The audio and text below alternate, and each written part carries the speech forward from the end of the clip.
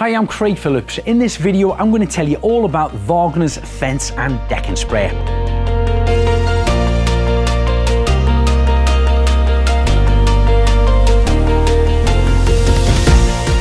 Now the cleaning up is very important. Start off by unscrewing the bottom reservoir off the attachment. If you have any paint left in here, pour it back into the main tin. It can be reused. I'm gonna pour some water into that. Just let that soak for a moment. And then you have to start to take the sections apart. So removing the suction tube, unscrewing the nozzle. Great thing is you don't need any tools whatsoever to take this apart. It's all done by hand. There's usually three sections there and you do have your little washer in there too. And you have your needle here where it's going to be surrounded by paint. So start off by rinsing that through under the tap. Making sure that this area here is completely clean from paint. You've got no paint in here and no down here. You can turn the tap on, it projects that water through the suction tube until it starts to show it's clean coming out of the bottom.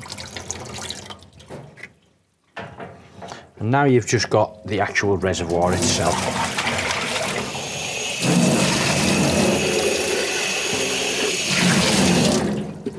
You'll find that the reservoir's nice and smooth inside.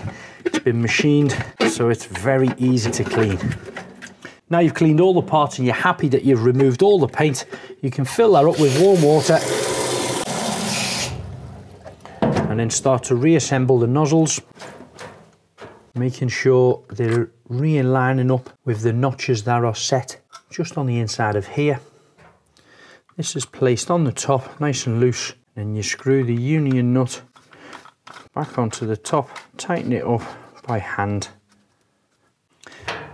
and then put the suction tube back in place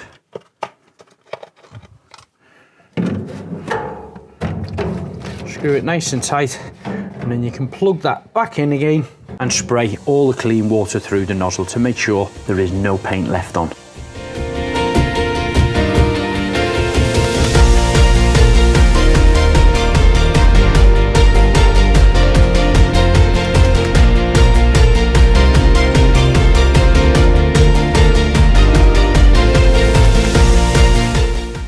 Now if you've enjoyed this video, please hit the like button and don't forget to subscribe.